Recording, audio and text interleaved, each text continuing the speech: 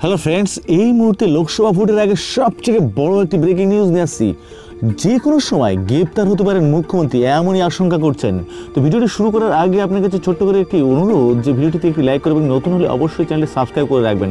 তো সংবাদ সূত্রে জানা যাচ্ছে, গ্রেপ্তার হওয়ার আশঙ্কা করছেন চন্দ্রবাবু নাইডু।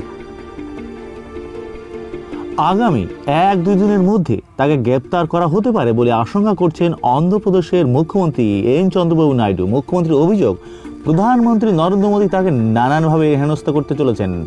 চন্দ্রবাবুর কথায় আগামীকাল অথবা পরশু আমাকে গ্রেপ্তার করা হতে পারে। জেলে যেতে হয়, যাব, তার জন্য আমি এতটুকু ভীতি নয়। শুক্রবার বিশাখাপত্তনমে এক জনসভায় এই আশঙ্কা ব্যক্ত করেন তেলেগু দেশম পার্টির প্রধান চন্দ্রবাবু নাইডু অন্ধ্রের মুখ্যমন্ত্রী যখন এই আশঙ্কা ব্যক্ত করেছেন, তার কিছুক্ষণ আগে আয়কর দপ্তরের আধিকারিকরা চন্দ্রবাবুর অত্যন্ত ঘনিষ্ঠ রাজ্যসভার সদস্য সি এম রাজ রামেশের কাদাপা জেলার বাড়িতে রেড করেন। টিডিপি প্রধানের অভিযোগ, কেন্দ্রীয় সংস্থাগুলির অপব্যবহার করছেন নরেন্দ্র মোদী। এখন টিডিপি নেতা ও প্রার্থীদের টার্গেট করা হয়েছে।